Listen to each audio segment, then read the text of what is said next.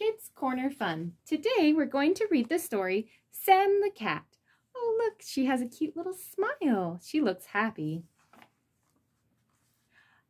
I can see a cat. Can you see the cat? Where is she? There she is. What is the cat's name? Her name is Sam. Do you see the red ball? I can see the red ball. Where is it? There it is. It looks like it's hiding in the grass. Does Sam like to play with the red ball?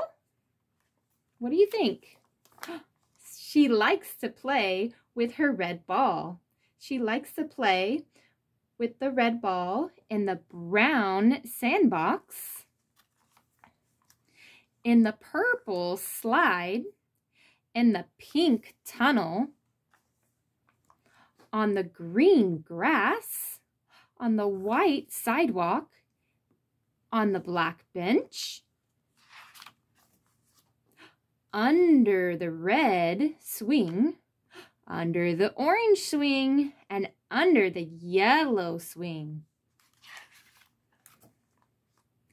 Sam does not like to play with her ball in the blue puddle. The blue puddle. Why do you think that is? Sam is sad. Her ball is wet. Can we help Sam? How are we going to help Sam? We can dry her ball with a towel. Sam is happy with her red ball back. Sam got her ball back. Sam the cat. I hope you enjoyed the story.